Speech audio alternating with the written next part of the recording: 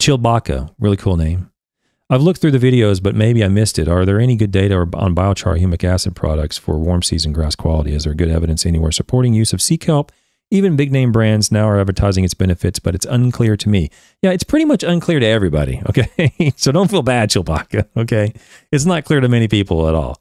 Like, there's a couple articles I'll end up going over, but don't feel bad. It ain't it ain't clear. There, if it's not clear to like the average homeowner, don't assume that it's it's obviously clear to researchers because it's not always the case. Okay, so I replied back to him.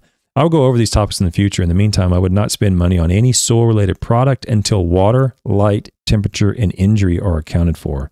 If those risk factors are accounted for, and I got to soil products, I would not spend any money on any soil product until nitrogen, phosphorus, potassium, and potentially pH are at optimum levels. By that time, it is unlikely that other soil related products would be worth the money. Okay, so what I'm trying to go over there is this this risk factor pyramid that I have a whole art, whole episode based on this this pyramid.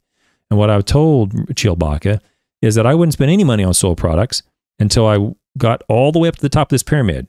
I checked off the water box, the light box, the temperature box, and the injury box. Then, even when I got to the fertile soil box on this pyramid, within that box, I wouldn't do anything until I checked off the nitrogen box, the phosphorus box, the potassium box, and the pH box. Okay.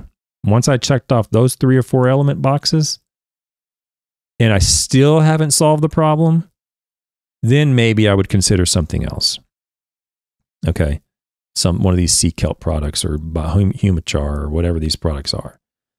Okay, that's a by the time you get to all those steps and you got all the water optimized, the light optimized, temperature, and you've checked off all that stuff, there's no injury, you've checked off the nitrogen, phosphorus, potassium, pH, the chances of you curing or solving the problem that you're seeing are pretty high. You're probably going to solve it by going up the pyramid in that fashion. But if you don't, by that point, then perhaps some of these other products might give you a little bit of a benefit. That would be my take on that for now.